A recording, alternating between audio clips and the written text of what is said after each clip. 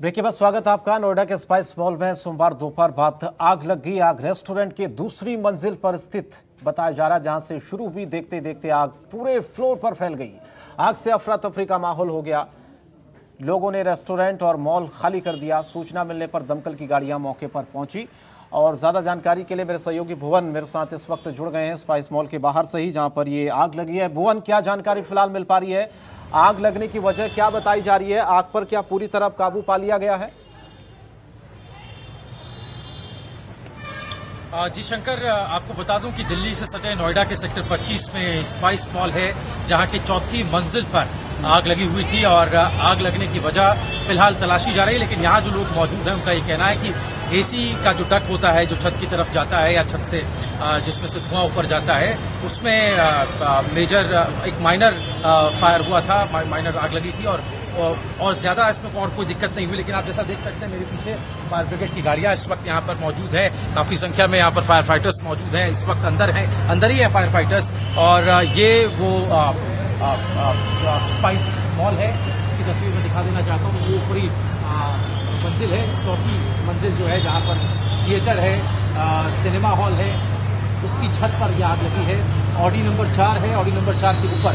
क्योंकि Audi number चार से कुछ लोग जो मूवी देखकर आ रहे थे, उनसे हमने बात की तो उन्होंने बताया कि सबसे पहले ऑडी नंबर चार को खाली कराया गया इवैक्यूएट कराया गया। जितने भी दुकानदार अंदर थे, जितने भी खरीदार अंदर थे, जो लोग यहाँ पर मूवी देखने आए हुए थे, उन सबको इवैक्यूएट किया गया प्रथम दृष्टिया, और जो अंदर जो फायर सेफ्टी नॉर्म्स हैं, उनको फॉलो करते हुए इक्विपमेंट्स का इस्तेमाल करते हुए, प्रथम फौरी तौर पर यहाँ पर आग पर काबू पाने की कोशिश की गई। हालाँकि यहाँ के लोग इसको माइनर फायर बता रहे हैं, कोई बहुत बड़ी घटना नहीं बता रहे हैं। लेकिन जो वीडियो सोशल मीडिया पर आया है और जो खबर सबसे पहले आई वो वाकई में हैरान और अचंभित कर देने वाली थी।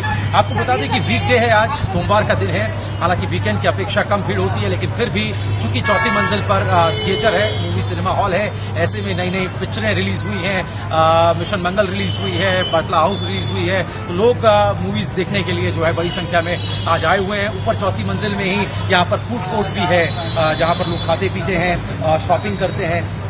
तो ज़ाहिर है शंकर काफ़ी लोगों की मौजूदगी थी और सबसे पहले कोशिश यही की गई प्रशासन द्वारा कि इवैक्यूएट किया जाए, लोगों को सुरक्षित बाहर निकाला जाए और यहाँ से सुरक्षित बाहर निकाल लिया गया ये वो गेट है जहाँ से एग्जिट और एंट्री होती है। एक दरवाज़ा ऐसे ही दो तीन दरवाजे और हैं इस मॉल के, लेकिन यहाँ पर फ़िलहाल आप देख सकते हैं सिक्योरिटी गार्ड तैनात कर दिए गए हैं। किसी को भी अंदर नहीं आने दिया जा रहा है। कुछ लोग जो अंदर हैं वो उनको बाहर किया जा रहा है। अब तक लगभग लगभग पूरा मॉल खाली करा दिया गया है। और ये भी कहा जा रहा है कि आग पर पूरी तरह से जो है वो काबू पा लिया गया है।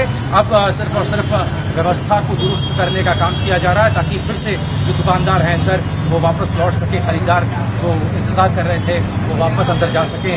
कुछ लोगों को बीच मूवी में ही जो है वो बाहर निकाल दिया गया। शंकर आपको याद होगा दिल्ली का उपहार सिनेमा कांड और बहुत दहशत पैदा कर देने वाला वो कांड था और उसी तरह से कहीं यहाँ पर भी तो ऐसा नहीं होने जा रहा था।